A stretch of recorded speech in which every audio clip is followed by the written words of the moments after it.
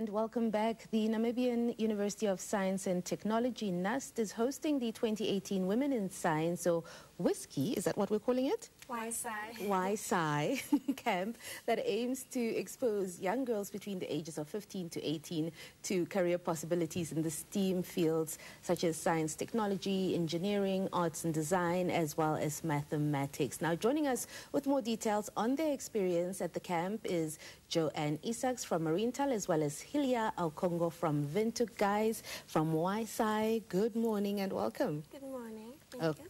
Let's talk about the experience, Jo-Ann. Um, what was it like at the WiSci camp?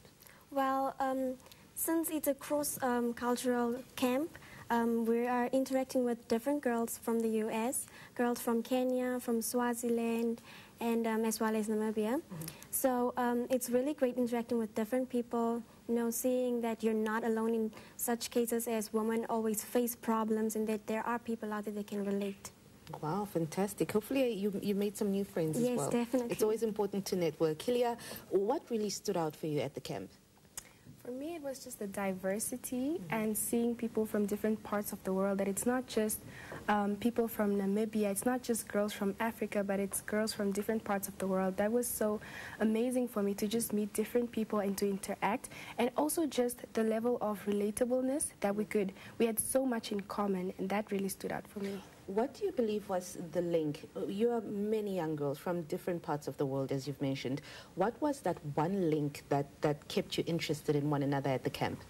It was definitely our interests. Okay. Um, the, it's a STEAM camp, mm -hmm. so it's science, technology, engineering, arts and design, and mathematics. So that was one thing that we had in common. I think that really, that had to be the link that kept us, you know, together. And yeah. All right, fantastic, Jo-Ann.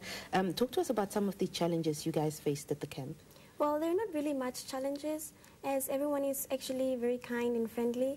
So um, getting to someone and talking to them is actually really easy and relating to them and all that, but really everything has been great so far. All right, looking at you young ladies, you don't seem to be in this the STEAM department, so to say. So tell me specifically what your primary focus is. Let's start off with you, Hilja.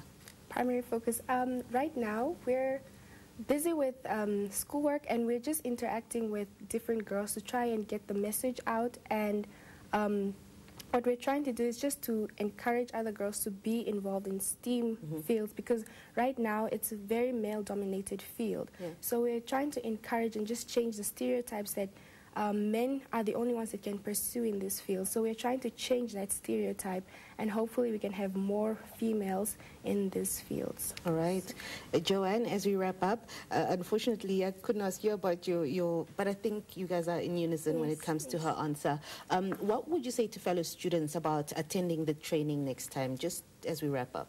Well, um, actually, they should actually know that um, it's not really complicated to get in, and that um, the WiSci actually gives you so many opportunities, and that you're able to like relate to other people in the STEAM fields, and that um, that really no one is actually alone. There are people out there that can relate. We have safe spaces, even though they're not physical necessarily, but um, dreamscapes, for example, um, like when you imagine that you can be really safe and relate to whoever is out there and that you're not facing problems alone. All right, guys. Thank you so much for coming in. Thank, Thank you for you. having us. All right, there you go. Girls interested in STEAM fields, always exciting. The future is now, actually. Uh, that was Jo-Ann Isaacks. She's a participant of, she was a participant of the 2018 Women in Science Camp, as well as Hilja Aukongo uh, from Windhoek, also a participant. Uh, Jo-Ann is from Mariental. Do stay tuned. We'll be back.